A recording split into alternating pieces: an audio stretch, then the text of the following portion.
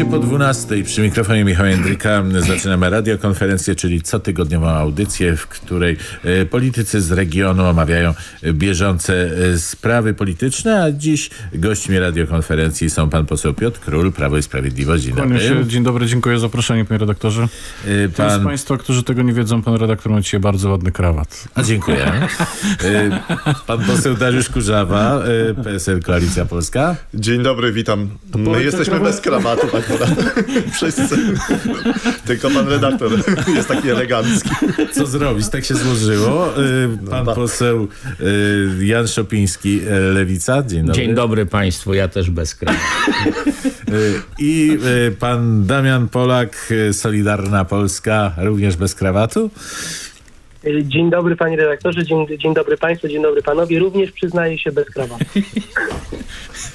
Porozmawiajmy więc o napiętej sytuacji na Ukrainie i w ogóle na wschód od Polski. To proponuję, żeby był pierwszy temat naszej rozmowy, e, bo e, tam sytuacja od wielu już miesięcy się coraz bardziej eskaluje. E, mówi się o tym, że Rosja zbiera swoje siły na wschodniej granicy Ukrainy i że jest możliwość i niebezpieczeństwo wybuchu tam e, takiej czy innej e, wojny czy konfliktu zbrojnego e, lub próby okupacji jakiegoś terenu Ukrainy czy zajęcia jakiegoś terenu Ukrainy przez Rosję.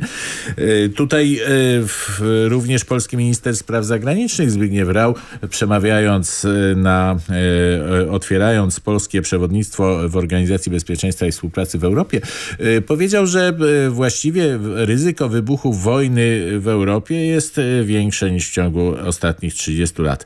Zacznijmy może od e, pana posła e, Jana Szopińskiego. Panie pośle, jak to pana zdaniem i, i z punktu widzenia pana wygląda? Przypomnę, że pan jest również przewodniczącym podkomisji do spraw uchodźców i migracji i również z tego punktu widzenia monitoruje pan sytuację na polsko-białoruskiej granicy, która która z tym jest ściśle związana, co mówiłem przed chwilą.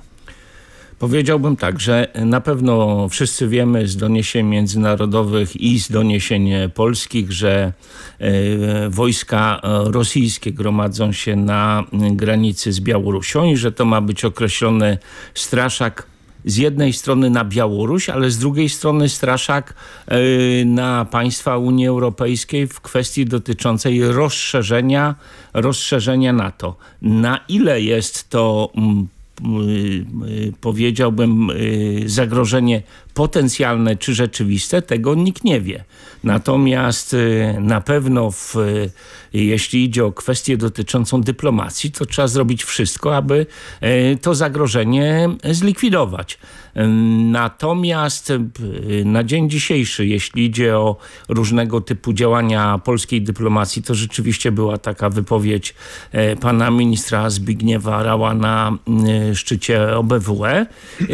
Natomiast jeśli idzie o działania w polskim Sejmie, to na dzień dzisiejszy nie było takiej informacji e, polskiego rządu o jakichś specjalnych e, przygotowaniach e, nas, bądź w kwestii dotyczącej pomocy Ukrainie, bądź w kwestii dotyczącej reagowania na kwestię dotyczącą ewentualnego kryzysu ukraińsko-rosyjskiego. Na pewno, gdyby tak było, po pierwsze byłby to zły element dotyczącej utrzymania pokoju w Europie, e, y, to raz, a i drugi raz trzeba też na to popatrzeć z punktu widzenia e, polskiej gospodarki, która no, ostatnio coraz mocniej powiązana jest z gospodarką ukraińską i na pewno by to wpływało też na nasze e, saldo, jeśli idzie o handel zagraniczny Polski. No właśnie, powiązanie y, polskiej gospodarki z y, całą tą sytuacją, jak pan poseł Król na to patrzy. No to jest y, z całą pewnością kolejny element takiego ja niestety miewam takie skojarzenia historyczne, bo y, najpierw, najpierw cały świat udawał, że że tą część wschodniej y, Ukrainy, jak tam się pojawili żołnierze rosyjscy, którzy po prostu mieli pozrywane emblematy wojskowe, to cały świat udawał, że właściwie nawet jakieś określenie... Zielone ludziki. Zielone tak ludziki się pojawiło, tak. No to yy, ostatnio pan na jednym, z, na jednym z partyjnych wieców pan Łukaszenka ogłosił na przykład, że yy, Białystok to zawsze było białoruskie miasto.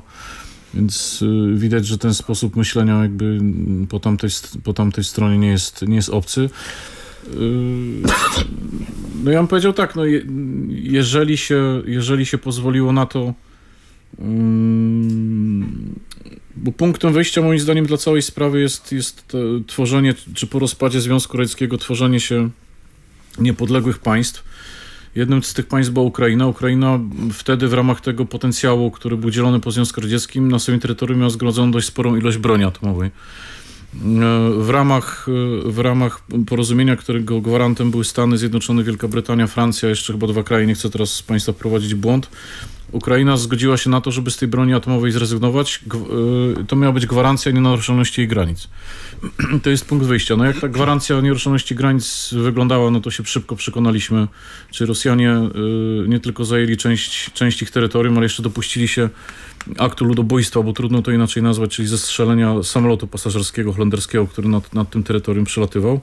No krótko mówiąc, yy, no jest taka dysproporcja w myśleniu człowieka, który, dla którego moralność i zasady mają znaczenie, e, a przestępcy, no bo to, no, jeżeli, no jeżeli ktoś eskaluje i tylko na tym zyskuje i nic na tym nie traci, e, no to nie wiem dlaczego miałby się zatrzymać, więc dopóty, dopóki nie będzie twardy i odpowiedni, no i to jest jeden element. No, drugi element jest taki, że no, cały świat widział, co się wydarzyło w Afganistanie, jeżeli Ukraina miałaby się na kimś oprzeć i otrzymać y, duże wsparcie, duże wsparcie militarne, to są głównie Stany Zjednoczone, które, dla których ekspansja Rosji, czy odtworzenie Związku Radzieckiego i tych, tych krajów buforowatych wokół, bo trudno to chyba inaczej nazwać, jak tak, tak Związek Radziecki traktował wszystkie te państwa, do których wkroczył po 1944 roku, y, no to y, jeżeli, jeżeli Stany Zjednoczone zrezygnują z tego, że przynajmniej wesprzeć, wesprzeć Ukrainę nowoczesne uzbrojenie, które pozwoli, pozwoliłoby potencjalnie dokonać bilansu Rosjanom, że to wkroczenie oznacza takie, a nie inne straty, no to to jest moim zdaniem y, jeden, jeden, z warunków, y, jeden z warunków tego, żeby, żeby tej wojny nie było. Natomiast y, no niestety tutaj można powiedzieć z dużą, z dużą przykrością, ale to co to, co powiedział świętej pamięci prezydent Lech Kaczyński w Gruzji, co wtedy było wyszydzane, prawda, w różny sposób.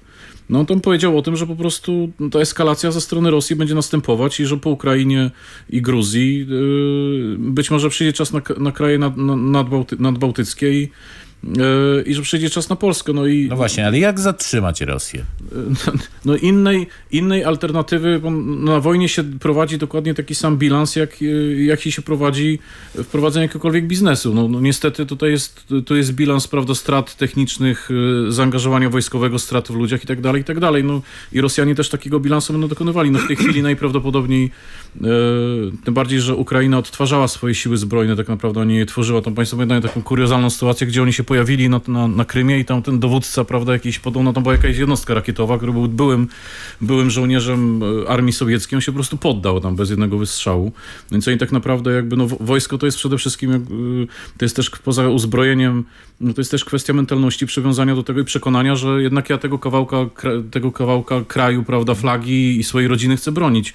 Więc e, no w mojej ocenie bilans musi być po prostu negatywny dla Rosjan. Im się to po prostu musi nie opłacać. Oni muszą wiedzieć, że poniosą takie straty, gdyby wkroczyli na Ukrainę Ukrainę, gdy wkroczyli do Polski, że im się ten bilans i że nie dadzą rady okupować tego terytorium e, długo, że te straty będą na tyle duże, to się no po prostu nie będzie opłacać. I no tutaj niestety trzeba sobie mówić brutalnie szczerze. No i pytanie teraz, na ile skuteczne są te metody, które do tej pory e, podjęto, bo tutaj pan poseł Piotr Król e, przypomniał właśnie bardzo istotną chyba rzecz, że, że była ta gwarancja nienaruszalności terytorialnej w zamian za to, że Ukraina zlikwiduje broń jądrową. Niektórzy mówią nawet o Nowej Jałcie, że jednak no, nie udało się Rosji powstrzymać i, Rosja już część Ukrainy de facto zajęła. Jak pan e, Dariusz Kurzawa, pan poseł Dariusz Kurzawa, jak na to patrzy jako historyk i, i polityk? powiedzmy tak z doświadczeń XX wieku bardziej tak spoglądałbym na tą historię kontaktów Rosji z Zachodem, to z Rosją trzeba grać twardo. Bo wystarczy wspomnieć choćby o mm, kryzysie e, kubańskim, gdzie e, świat e, stanął w obliczu wojny i wtedy twarda riposta ze strony Stanów Zjednoczonych spowodowała, że Rosjanie się cofnęli. I w tej chwili no już wygląda też na to, że w ten sam sposób trzeba z Rosjanami postępować, czyli trzeba po prostu iść twardo, jeżeli chodzi o utrzymywanie suwerenności Ukrainy, wspieranie Ukrainy, zwłaszcza w odbudowie armii, to o czym też moi mm, poprzednicy mówili, ale też e, są kwestie ekonomiczne, które bardzo mocno mogą podważyć e, stabilność rządów e, prezydenta Putina i też tą jego taką niezaprzeczalną dominację w polityce e, rosyjskiej, bo to będzie najbardziej bolało, czyli kwestie związane choćby mm, z paliwami, z e, gazem. Europa już też zaczyna dochodzić do tego, że jednak z Rosją nie da się spokojnie handlować i podpisywać jakieś umowy. Trochę po nie w czasie, ale ale rzeczywiście trzeba będzie zacząć dywersyfikować też dostawy czy gazu, czy innych paliw, czy surowców naturalnych, żeby nie opierać się tylko i wyłącznie na Rosji. To też jest uwaga dla polskiego rządu, bo przecież my nadal eksportujemy potężne ilości, e, przepraszam, importujemy ogromne ilości węgla z, z Rosji. I to e, też trzeba w tym kierunku pójść, żeby po prostu szczypnąć e, ekonomicznie bardzo mocno Rosję i ona wtedy to dopiero odczuje. Rzeczywiście z jednej strony wzmacnianie armii tych państw, które są potencjalnie zagrożone, bo przecież Rosjanie nie mówią tylko o Ukrainie, ale przecież nadal kwestia e, Gruzji, teraz widzimy, co się dzieje w Kazachstanie, e, kwestia choćby Finlandii, ale też e, państwa bałtyckie, Polska. Możemy czuć się zagrożeni i tutaj bez szybkiej, mocnej reakcji ze strony Zachodu, ze strony NATO, ze strony Stanów Zjednoczonych, no to naprawdę za chwileczkę możemy się cofnąć przed rok 97 i mogą być eskalacje tych żądań, które zresztą już się pojawiają u niektórych deputowanych z partii proputinowskiej, E, mówiące o tym, że NATO powinno się wycofać do granic przed 1997 roku, czyli de facto ta część wschodnia Europy powinna na nowo wrócić pod e, strefę wpływów e, Moskwy. No, na to nie, nie możemy ani my sobie pozwolić, ani przede wszystkim wolna Europa, ale również Stany Zjednoczone. I to jest też takie próbowanie, o czym mówi wielu politologów, wielu specjalistów z zakresu dyplomacji, że jest to też próbowanie tej nowej administracji prezydenta Bidena. Do jakiego punktu może się posunąć e, Rosja. I, mm, e, no, no właśnie, jak... to wydaje się dosyć niebezpieczne, ponieważ, e, ponieważ Amerykanie wykazują tendencję do ustępstw. Niestety nie rozumieją do końca specyfiki tej części świata i tej części Europy. Zresztą to nie tylko oni, ale też i myślę, że Zachód, Francja, Wielka Brytania, nie rozumieją, e, nie rozumieją specyfiki też e, naszego położenia geopolitycznego, e, nie rozumieją też naszej historii, nie rozumieją też tego zagrożenia, które może nieść Rosja, którego my doświadczaliśmy będąc w tym bloku sowieckim i będąc też pod jarzmem Rosji. Wobec tego trzeba też, to jest rola naszej dyplomacji, aby też dokładnie o tym informować, aby też uprzedzać przed możliwymi konsekwencjami i rzeczywiście wymóc na Zachodzie i na Stanach Zjednoczonych większe zaangażowanie się tutaj na wschodzie wschodzie, bo to jest jedyna metoda. Raz wzmocnienie armii rzeczywiście tutaj tych państw, które są zagrożone, również Polski, a po drugie uderzenie ekonomiczne i wtedy dopiero Rosja zrozumie. Pan Damian Polak, Solidarna Polska, co pan dopowie do tych, y, do y, tych zdań, które już padły? Y, szanowni Państwo, tutaj trzeba też zwrócić uwagę na to, jaką Polska ma rolę do odegrania, będąc tutaj przewodniczący w OBWF w 2022 roku i tak naprawdę nic o nas bez nas, dlatego że dobrze się to złożyło, że, że, że w czasie widma e, tego kolejnego kryzysu e, u naszych sąsiadów będziemy mieli realną, realny wpływ na negocjacje dotyczące powstrzymania tej eskalacji działań Putina, bo tak naprawdę zauważcie Państwo, że te działania na Ukrainie no to jest zagrożenie realne dla naszych granic, bo, bo, bo to nie jest nic dobrego, konflikt e, przy granicy u naszego sąsiada. To się wiąże z napływem e, uchodźców e, wojennych, nie migrantów ekonomicznych, jak to się teraz dzieje. To jest też, o której pan poseł Król mówił, destabilizacja naszego regionu w zakresie ekonomiczno-gospodarczym. I tutaj jako Polska mamy bardzo ważną, ważną, ale też trudną rolę do odegrania. Ale też to chciałem podkreślić jeszcze, zauważcie Państwo, że Władimir Putin stał się takim cynicznym graczem na arenie tutaj międzynarodowej w naszym regionie, bo najpierw, zobaczcie Państwo, wywołuje kryzys w regionie, a później zaprasza wszystkie strony do stołu i prosi o jakieś dobre rozwiązanie, gdzie próbuje na tym skorzystać. Myślę, że Władimir być... Putin zawsze był cynicznym graczem, tak. tylko trochę niedocenianym. Tak. No i właśnie też chciałbym podkreślić tą naszą bardzo ważną i trudną rolę, no, którą musimy odegrać, no bo to dotyczy bezpieczeństwa nas, no, Polek, Polaków i, i naszych granic. Słuchałem Państwa audycji Radiokonferencja. A naszymi gośćmi są...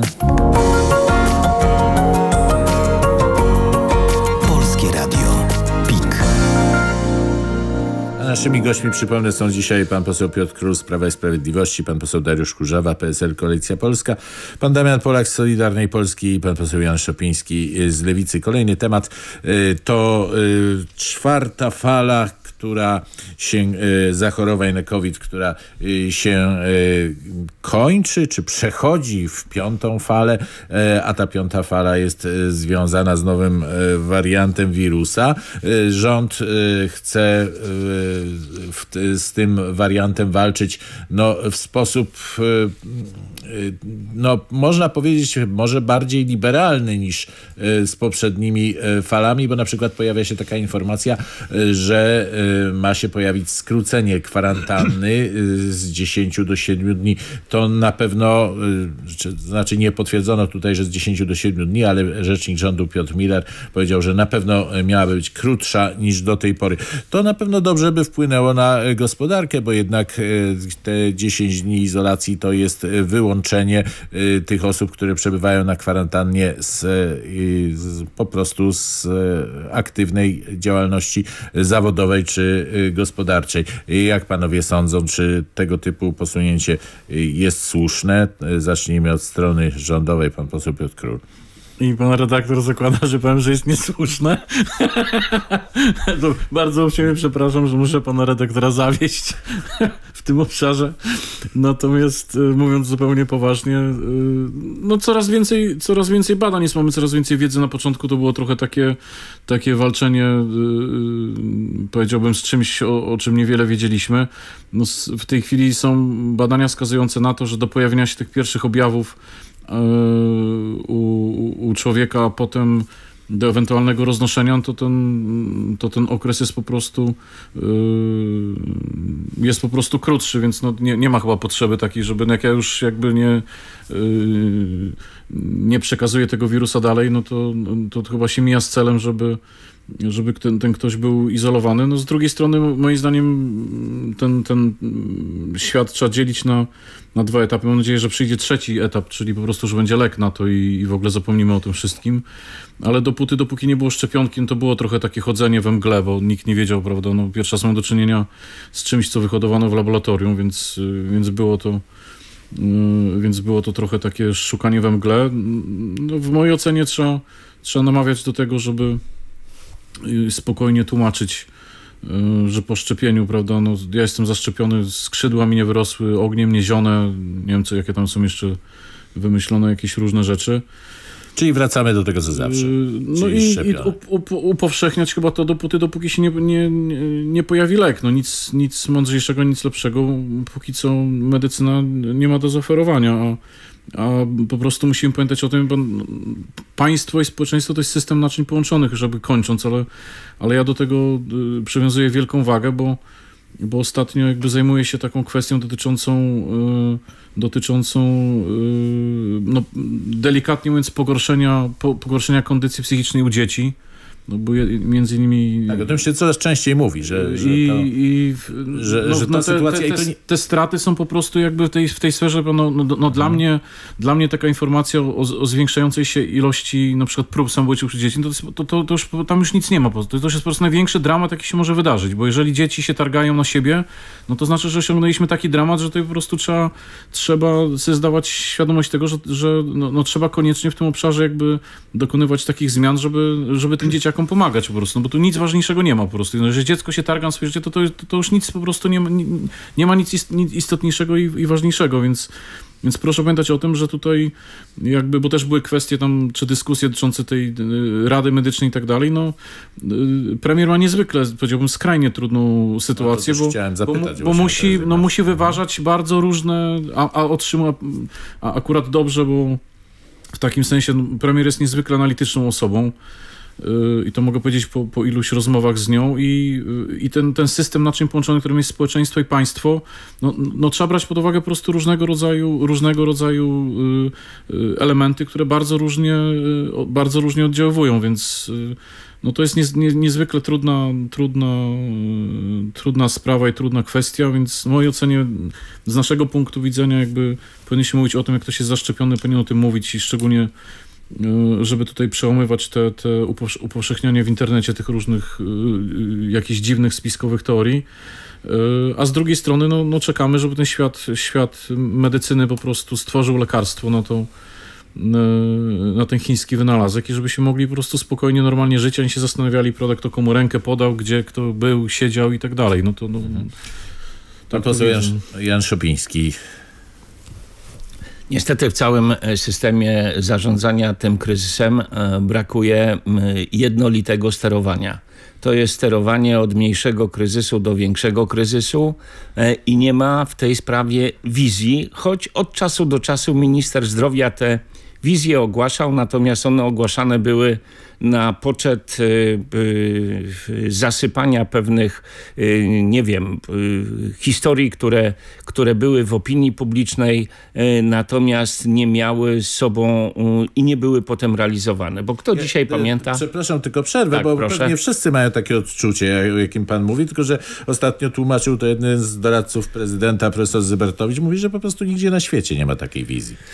Ale y, pragnę y, odnieść się do kilku elementów, o których mówił jakby pan y, minister. Kto dzisiaj pamięta o, o tym i o wizji pewnych stref, które miały być, że wtedy, kiedy będzie określona ilość zachorowań w określonym powiecie, to będzie się realizowało tak, a nie inaczej. Przecież nikt nie mówi nie mówił wtedy i nie mówi dzisiaj o całkowitym lockdownie, ale wtedy, kiedy w niektórych województwach i w niektórych e, powiatach jest tak ogromna ilość niechorych, chorych też, ale przede wszystkim tych, którzy umierają, to aż się prosi o podjęcie określonych decyzji. Jeżeli dzisiaj Polska zajmuje niechlubne trzecie miejsce po Stanach Zjednoczonych, Rosji, e, jeśli idzie o liczbę zgonów, e, to jest to no chyba niezbyt dobra informacja dla Polek i Polaków. I co my w tym zakresie robimy? Ano nic nie robimy, bo nie rządzi tą epidemią w Polsce jakieś elementy związane z medycyną, tylko najzwyczajniej w świecie rządzi tym polityka. No bo co to jest za minister zdrowia, który nie ma oparcia e, o swoje zaplecze polityczne? Minister zdrowia ogłasza, drodzy Polacy, będziemy szczepili nauczycieli, będziemy e, szczepili służbę zdrowia i będziemy szczepili służbę, e, służby mundurowe. Po czym po 24 godzinach ten, który odpowiada za edukację, powiada nie, panowie służby zdrowia, yy, przepraszam, yy, oświaty nie będziemy szczepili. No i z całego powiedziałbym projektu ministra zdrowia yy, powiedziałbym mało, mało, mało co zostało. I tak mógłbym o wielu elementach mówić. Mógłbym mówić o kwestii dotyczącej Rady Medycznej, której wielu elementach elementach po prostu nikt nie słuchał. Najpierw pan premier powołał sobie najlepszych w Polsce profesorów, e, e, wybitnych naukowców, ludzi, którzy mają e, autorytet nie tylko w Polsce, ale za granicą, jeśli idzie o, o, o walkę z chorobami zakaźnymi jeszcze przed tym, zanim pojawił się COVID i są wybitnymi specjalistami. Kto ich słuchał? Nikt nie słuchał. No na pewno oni nie opiniowali pozytywnie kwestii dotyczącej na przykład w ubiegłym roku zamykania stoków narciarskich, bo pytałem. Tak to po prostu nie było. Natomiast e, e, wszelkiego typu e, decyzje, które były złymi decyzjami, były przerzucane na nich. A teraz, wtedy, kiedy są z ich strony określone propozycje tego, w jaki sposób ma funkcjonować polska służba zdrowia, tego nikt nie podejmuje. Ja rozumiem pana premiera w kwestii dotyczącej tego, że on musi z jednej strony koordynować to, co jest między służbą zdrowia, gospodarką i, i funkcjonowaniem Polaków. A jeżeli do tego się jeszcze dołączy ośmioro posłów z klubu PiSu, w których też musi premier uwzględniać i musi robić specjalne z nimi spotkania i ich pytać, czy oni zagłosują za paszportami covidowymi, to się wydaje no trochę powiedziałbym e, śmieszne. Bo, bo, bo, mhm. idzie, bo idzie tylko zewnętrzne pokazanie e, jedności klubu PiSu, bo myśmy tę ustawę, o których mówię, dotyczącą e, paszportów covidowych, e, z jednej strony przyjęli na Komisji Zdrowia i przyjęli e, głosami wszystkich ugrupowań, tylko z nieznanych powodów pomiędzy wtorkiem a czwartkiem w minionym tygodniu projekt ten na forum Sejmu się nie pokazał. Pan Damian Polak, Solidarna Polska. Panowie, nie ulega wątpliwości, że szczepienia, dobra edukacja są e, jedynym orężem, który możemy walczyć pandemię, ale też trzeba uszanować, że stosunek Polaków do szczepień jest zróżnicowany. No ja, moja rodzina jesteśmy zaszczepieni. Ja osobiście jestem zwolennikiem szczepień. Jestem zwolennikiem nowoczesnej e, medycyny, dzięki której między innymi sam pokonałem bardzo ciężką chorobę, która kiedyś była nieuleczalna, bo testowałem lek. Więc wiem, e, wiem na własnej skórze się tym, o, tym przekonałem, że ta medycyna jest skuteczna. No ale też trzeba mieć to na uwadze, że wiele osób w Polsce no, może mieć wątpliwości i nie można ich y, marginalizować czy Y, czy nie brać pod uwagę ich poglądów w debacie publicznej. Albo, Panowie, powiedzieć, no, dobra... was, albo powiedzieć, my was przymusimy teraz i weźmiecie szczepionkę. Tak, no panowie, dobra edukacja, no i oczywiście to też trzeba podnieść i, i mówić o tym y, w debacie publicznej, y, o walce z fake newsami, o tym, co się pojawia na portalach społecznościowych, na, to, na, na tym, co się pojawia na różnych portalach, które publikują memy, no te treści są niestety dla niektórych, dla wielu Polaków źródłem wiedzy na temat pandemii. I tego jest no niestety tyle, że to trochę się robi walka z wiatrakami. Tak, tak panie redaktorze, oczywiście, ale gdziekolwiek możemy, to musimy zgłaszać takie posty, y, reagować, że, żeby one zostały usunięte. No i myślę, że to taka edukacja i tutaj, no ta edukacja przyniesie lepszy no, skutek niż jakiekolwiek przymusy, tak? Dziękuję. Pan poseł Dariusz Kurzawa? No ja uważam, że tak, że rzeczywiście edukacyjnie polegliśmy, bo wystarczy przypomnieć e, wiosnę ubiegłego roku, kiedy byliśmy liderem e, jako Polska, jeżeli chodzi o e, zaawansowanie szczepień. Mieliśmy we wrześniu osiągnąć tak zwaną odporność stadną, czyli około 70% Polaków miało być już zaszczepionych. Okazuje się, że w tej chwili przekraczamy ledwie 50%, a pół roku temu miało być niby 70%, czyli e, coś nie zagrało i rzeczywiście tutaj można się zgodzić e, z przedmówcą czy z przedmówcami, że e, polegliśmy też jako edukatorzy przede wszystkim w kwestii związanej ze szczepieniami, bo jeżeli wygrywa mm, z autorytetami naukowymi mm, ktoś, jakiś oszołom wypisujący bzdury na Facebooku czy, czy w, gdzieś tam mm, publikujący filmy, filmy na YouTubie, czy też tak zwany doktor e, Google, no to e, w jakim kraju e, my żyjemy? Jeżeli specjalistą od szczepień jest z całym szacunkiem mechanik, murarz, czy, czy, czy politolog. Wszyscy no się to, znają no to, na tak. medycynie, tak A. samo jak znają się wszyscy na sporcie. Dosłownie. I, e, no to, to chyba nie w tym kierunku powinniśmy pójść. I to też e, wskazuje na to, jakim my jesteśmy narodem, że nie ufamy autorytetom, e, nie ufamy e, naukowcom, tylko Ale temu, to nie co, tylko co, my co, jesteśmy takim narodem, bo Ale to, to też, ale zjawisko jednak- właśnie, ale jednak to zaangażowanie zjawisko, o którym mówimy jest ca- na całym świecie, nie tylko w Europie, Podobno ale na całym 1% świecie. Amerykanów wierzy, że Ziemia jest płaska. No tak, no płaskoziemcy też, rzeczywiście, no, no oni mają różne, no przecież jest wielu aktorów, którzy wierzą w to, że pochodzimy od e, ufolutków i tak dalej, no między innymi Tom Cruise podobno, także scjentolodzy i tak dalej, no to, to też e, można, można takie skrajności rzeczywiście mm, wymienić, natomiast wydaje mi się, że w tej chwili powinny, powinny być też wprowadzane większe ograniczenia, jeżeli chodzi o osoby niezaszczepione, tak jak jest to w innych krajach e, europejskich, do restauracji w wielu krajach, na przykład w Niemczech, nie dostanie się osoba niezaszczepiona i to trzecią dawką. Podobnie z tego co pamiętam jest chyba Austria, czy jeszcze kilka innych krajów europejskich. Powinniśmy pójść e, już tutaj dość ostro z e, różnego rodzaju rygorami, żeby też w ten sposób e, może nie przymusić, ale zachęcić do tego, żeby się zaszczepić, bo często to wynika też nie tylko z niewiary, ale też z jakiegoś takiego lenistwa, a może jeszcze poczekam, a może zobaczymy, jakie będą tego efekty.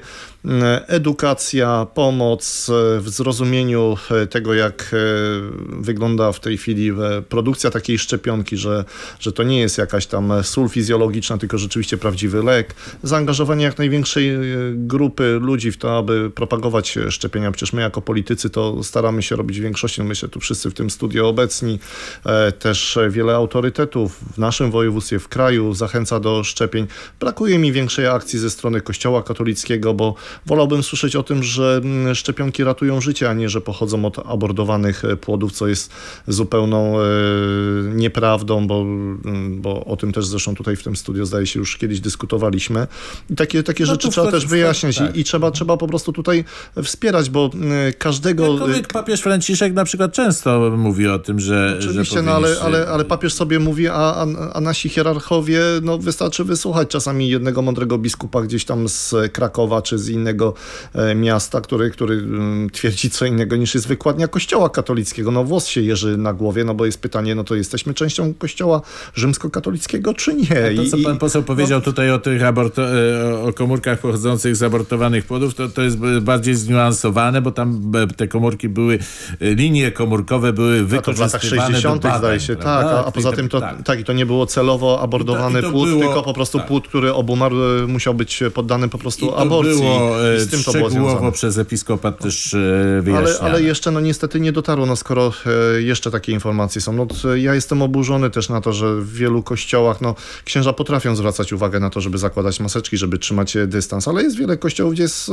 no, wolna amerykanka i, i sam ksiądz mówi, że on jest antyszczepionkowcem albo że nie wierzy w skuteczność e, maseczek i wobec tego on nie będzie tego wymagał od swoich wiernych. No, a potem mamy wzrost e, umieralności. No, e, przecież te dane, które są podawane codziennie, to ja jestem w ciężkim szoku. W 10 dni w Polsce umiera moja gmina Jeziora Wielkie. W 10 dni, szanowni państwo. No to obudźmy się i e, zacznijmy się szczepić, bo zawsze osoba, która jest e, zaszczepiona, może e, się zarazić, może, może też przejść ciężko, bo każdy organizm jest inny, ale jak wykazały badania, to 90% osób zaszczepionych przejdzie bardzo lekko tą, tą chorobę. Myślę, że też z czasem e, ten lek e, na, na, na COVID powstanie i to będzie na zasadzie, nie wiem, jakiegoś popularnego leku, który bierzemy w tej chwili na przeziębienie, czy na jakąś taką e, coś ala grypę. tak, połkniemy, tabletki przez 5 dni i będzie dobrze i mam nadzieję, że również będzie tak z COVID-em, ale póki co, no jedyna, jedyna rada, jedyna pomoc to są, to są szczepionki, to są maseczki, to jest dystans, to jest odkażanie się i, i pilnowanie własnego zdrowia i też zdrowia innych, bo jeżeli ja noszę maseczkę i zaszczepiłem się, to nie tylko ze względu sam na siebie, ale też na tych ludzi, z którymi się spotykam, których otaczam, bo nie chcę ich zarazić i nie chcę przenosić choroby, a jest też udowodnione, że osoba zaszczepiona e, krócej transmituje wirusa, bo około 5 dni, osoba niezaszczepiona co najmniej tydzień.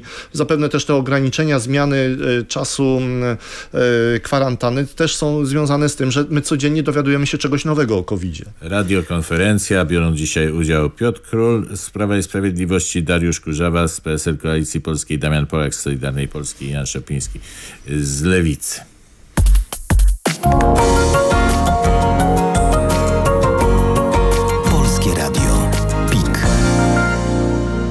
I ostatni już temat e, w tym wydaniu tej audycji to zmiany w prawie oświatowym. W ubiegłym tygodniu Sejm e, przyjął nowelizację e, prawa oświatowego. Zobaczymy, co się z tym stanie w Senacie i u prezydenta, ale zagłosowało 227 posłów, 214 było przeciw, czyli znów mamy silną polaryzację pomiędzy obozami politycznymi. Ustawa w części mediów była nazywana Lex Czarnek.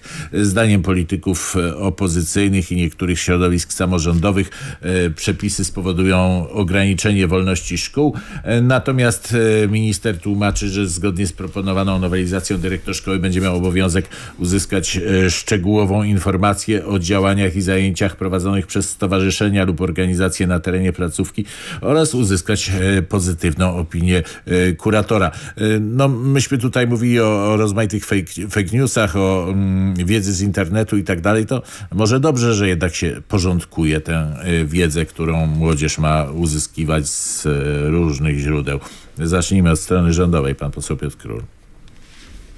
Tak, szczerze mówiąc, nie wiem skąd ten y, skąd te, skąd te ataki, bo rozumiem, że o ile pan minister Czarnek potrafi czasem czasem, że tak powiem, dokonać barwnej wypowiedzi, no ale poza tym, y, poza tym no jest, jest dobrze wykształconym człowiekiem, więc raczej trudno mu odmówić merytorycznej wiedzy, więc no takie, takie utożsamianie jakichś zmian w prawie oświatowym akurat z tym, że czasem minister ma bardziej kwiecistą wypowiedź, no to, y, to, to jest dla mnie intrygujące. No wzmocnienie, wzmocnienie pozycji y, kuratorów, no, jeżeli ktoś ma jakieś doświadczenie samorządowe albo wie w, czasami w, w jakich okolicznościach się wybiera dyrektorów szkół. No to są jakieś w ogóle targi między yy, władzą, władzą samorządową, związkami zawodowymi przy jakimś udziale kuratora. Tak naprawdę do końca nie wiadomo, kto tego, kto, kto bierze odpowiedzialność i, i, i kto tego, tego dyrektora wybiera, no to tutaj takie, yy, takie przestawienie akcentów, że w sytuacji, w której sytuacji, w której y, są kłopoty z wyborem tego dyrektora, że to wzmocnienie pozycji kuratora, no to no, no trudno znaleźć chyba kogoś bardziej merytorycznie do tego przygotowanego niż, y, niż kurator oświaty, a, a mówiąc tak regionalnie, tak żeby też ubarwić swoją wypowiedź, y, no to mam nadzieję, że w regionie na przykład ci dyrektorzy szkół, na których terenie znajdują się izby pamięci takiej haniebnej instytucji, która się nazywała niemiecki zakon zwany w Polsce, nie będę miał całej nazwy, bo, bo jakby działalność tej instytucji czy tej organizacji w stosunku do tego, co ona robiła, to tak się ma do katolicyzmu, jak mniej więcej krzesło elektryczne do, do mebla. No to, że krzyżaków. Tak, mówię o krzyżakach, tak. Haniebna organizacja, z którą Polska toczyła... Yy, no ja bym się jako historyk akurat z sobą nie zgodził, ale haniebna, no to nie jest czas na taką dyskusję. Haniebna niemiecka organizacja, z którą Polska toczyła, no to właśnie to są efekty. To jak ktoś tego nie rozumie, że, że, że ta niemiecka organizacja próbowała Polskę zlikwidować, y, no to mam nadzieję, że y, mam nadzieję, że y, w części, no dzięki Bogu w mniejszości, ale znikną do reszty tak zwane izby pamięci przeznaczone, żeby czcić tą niemiecką organizację w polskich szkołach, co w XXI wieku, no wydaje się, że minęło tyle czasu, że każdy, y, każdy pierwszoklasista powinien wiedzieć, y, że Polska toczyła z tą niemiecką organizacją setki lat. Setki ale to, lat będziesz, to będziesz gloryfikował Hitlera, bo Hitler zlikwidował zakon e, szpitala Najświętszej Marii Panny Domu Niemieckiego w Jerozolimie, czyli tak zwanych w jaki sposób ja go gloryfikuję? No, no, uważam no, no, go za, jeżeli, jeżeli uważam tak, go no, za ludobójcę i za psychopatę. No tak, no, ale Hitler zlikwidował no, zakon krzyżacki, no, jeżeli chcemy w tym kierunku pójść, no bo, bo naprawdę, no mnie jako no to historyka ciekawe, bo w Toruniu, to mnie krew zalewa, jak słyszę no, tego typu teorie. No naprawdę, ja z przyjemnością sobie z tobą po programie porozmawiam i ci wyjaśnię kilka niuansów związanych z Polska, to, że, w, że w polskich ale szkołach to... są izby pojęci krzyżaków? To chcesz mi ale, ale no Wam się coś pomyliło po prostu. No. Zakon, zakon szpitala Najświętszej Marii Panny Domu Niemieckiego w Jerozolimie. E, nie możemy patrzeć na historię średniowiecza przez pryzmat historii XXI wieku, bo ja to, to jest raz. Wtedy nikt nie umierał za Polskę, tylko umierał za króla. Patriotyzm narodził się dopiero o wiele później.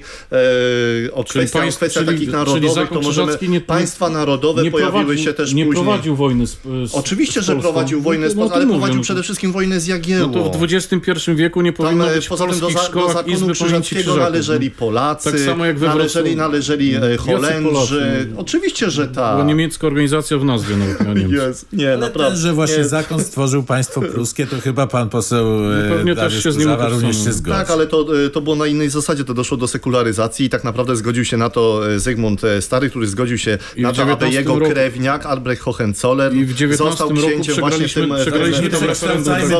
w audycję historyczną. Nie, no naprawdę. Panie pośle, w, w takim razie poproszę jeszcze krótką ocenę tego, tej nowelizacji. E, ja uważam, że mm, przede wszystkim tak, jeżeli chcieliśmy e, coś zmieniać e, w prawie oświatowym, bo mówię to jako chyba tutaj w tym gronie jedyny nauczyciel, bo mam za sobą epizod, jestem nauczycielem mianowanym i pracowałem przez kilka lat w gimnazjum w takiej małej miejscowości Włostowo w gminie Jeziora Wielkie. Bardzo serdecznie pozdrawiam wszystkich moich, moje koleżanki i kolegów z tamtej pracy.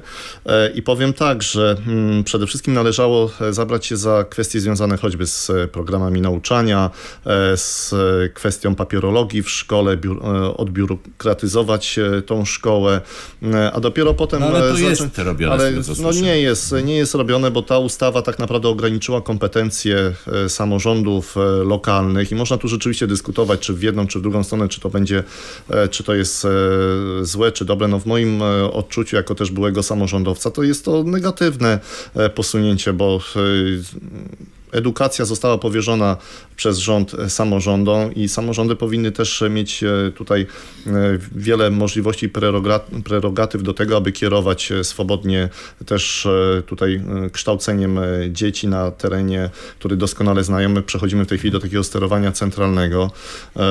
Też wpływ kuratora na, na to, kto ma być dyrektorem. No myślę, że akurat regionalna społeczność najlepiej wie, kogo by chciała wybrać. Jeżeli mówimy o upolitycznianiu, no to chciałbym wspomnieć, że właściwie no, urząd kuratora też jest e, urzędem politycznym, bo e, przy każdej zmianie rządu dochodzi też do zmiany e, w kuratora. sensie wszystko jest polityką? No w tym, w tym sensie tak, czyli jak będziemy to w ten sposób postrzegać, no to rzeczywiście tutaj w kraju każde stanowisko będzie w jakiś sposób upolitycznione.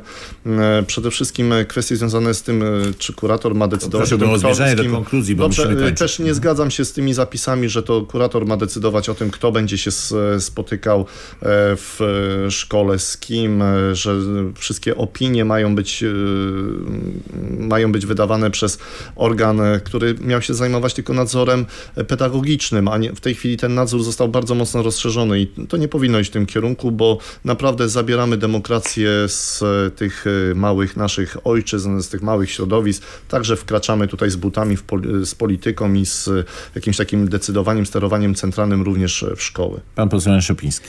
Otóż tak, ta ustawa to niewątpliwie policzek e, skierowany w stronę rodziców, nauczycieli i organów prowadzących. Bo jeżeli one na dzień dzisiejszy nie będą miały żadnego wpływu, a tak będzie, na y, politykę wychowawczą w szkołach, to po prostu tak jest. Jeżeli w, w ustawie tej mamy zapisane, że tylko E, harcerstwo będzie mogło funkcjonować, a wszystkie inne szlachetne bardzo organizacje, nie chcę ich wymieniać, będą musiały pytać pana kuratora, czy mogą, będą musiały przedstawiać program swojego oddziaływania na te dzieci, to chyba coś nie tak. I, I, kończąc, ponieważ mamy mało czasu, a musiałbym to głębiej rozwinąć. A jeżeli w niektórych województwach e, te organy prowadzące, nauczyciele, dyrektorzy szkół trafią na taką panią kurator, jak pani kurator Barbara Nowak z Krakowa, to im już dzisiaj bardzo serdecznie współczuję. Bo z jednej strony pani ta powiada, że e, e, szczepienie jest to jeden eksperyment medyczny, a kwestia dotycząca korzystania z dzieł y, Adama Mickiewicza i wysyłanie szkół y, do tego, aby uczestniczyły w spektaklu Adama Mickiewicza nie wpisuje się w, w, system polskiej oświaty. Jest to jeden wielki Jak w 68 roku dziady są zagrożeniem dla ustroju. Tego już nie chciałem, bo mamy mało Damian, czasu. Pan Damian Polak. Tego wątku nie znam. Panowie, w moim odczuciu ta nowelizacja y, tej ustawy to jest, y, to jest y, tak, służy takiej normalizacji zasad funkcjonowania placówek oświatowych. No jeśli chodzi tutaj między innymi na przykład o, o zrównanie uprawnień, które, które, które, które, które samorządy nadużywały. I tutaj ten głos rodziców, bo, bo to jest bardzo ważne, będzie miał większe znaczenie. Będą mieli oni większe prawo o decyzji o tym, jakie zajęcia będą się w szkole odbywały. No bo panowie, ja jako rodzic nie wyobrażam sobie, żeby mój syn brał udział w zajęciach, w których tak zwany edukator, czy coach, czy nie wiem jak to jeszcze jest nazywane, chyba seks edukator, będzie go uświadamiał w sposób nieadekwatny do wieku lub y, jego stopnia rozwoju. No, na, na, to nie możemy się godzić. Nie mogą Musimy organizacje. Y, mamy, mamy podstawę programową i jej powinniśmy się trzymać. Bardzo dziękuję. Y, to y, na tym kończymy audycję radiokonferencja. Bardzo dziękuję za udział naszym gościom, a byli nimi pan poseł Piotr Król z Prawa i Sprawiedliwości. Dziękuję bardzo. Pan poseł Dariusz Kurzawa, PSL Koalicja Polska. Dziękuję, miłego dnia życzę wszystkim. Damian Polak z Solidarnej Polski. Dziękuję bardzo, wszystkiego dobrego. I pan poseł Jan Szopiński z Lewicy. Dziękuję, miłego tygodnia życzę i żeby dzisiejsze wichury przyniosły jak najmniej szkód wszystkim nam. Audycję prowadził. Michał Jędryka. Dziękuję za uwagę.